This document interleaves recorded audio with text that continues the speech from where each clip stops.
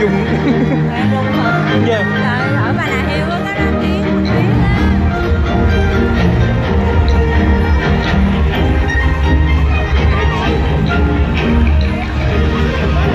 bên Đài Loan nó nó cũng cao mà nó đi từng tầng. Hết tầng này xong rồi lại đến. Đấy.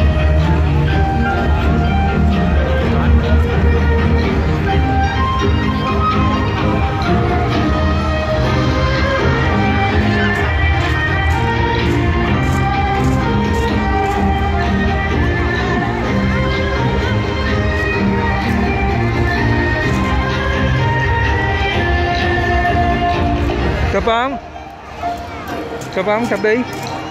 Tôi tắm nè.